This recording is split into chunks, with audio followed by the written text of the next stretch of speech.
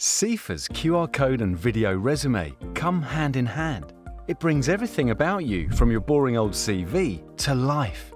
Anyone who sees your QR code, wherever it's placed, can scan it this leads them to your digital profile that has some key features, including a one minute video resume to showcase you, your previous professional skills and experience, your personality, body language, and most of all, to get your message across in person. Studying one of our courses shows prospective employers or recruiters that you are working towards your certification in that specific field. A progress bar shows the amount of the course completed, calculated through a mock exam with 10 multiple choice questions at the end of each chapter. 7 out of 10 answered correctly, and your progress bar will increase.